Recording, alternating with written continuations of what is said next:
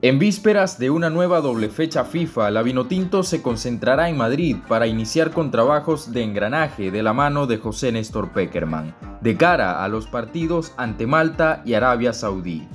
Además, el módulo tendrá la finalidad de definir los convocados sub-21 al torneo Maurice Rebello, que dará inicio el 29 de mayo.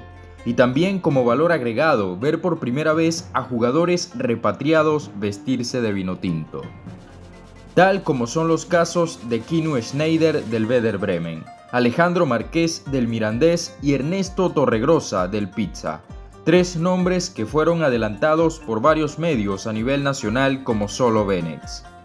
El caso de Schneider, que ha sonado en diversas ocasiones en el entorno del balompié nacional, llegaba como una buena noticia al ser llamado al módulo sin embargo, a última hora parece caerse su convocatoria, al no finiquitar los permisos con Werder Bremen.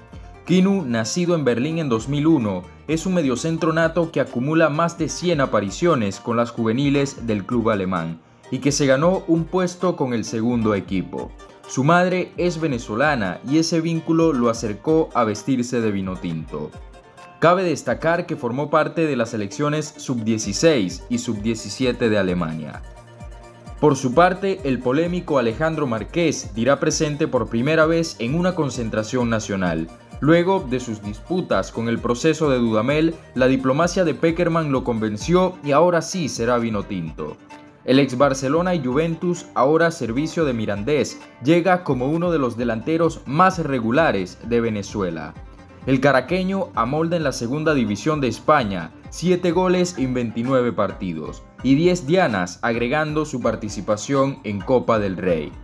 Por su parte, el bombardero Ernesto Torregroza, que hace vida en el Pisa de la Serie B, también dirá presente. Viene de marcar 7 goles y 2 asistencias en 17 partidos.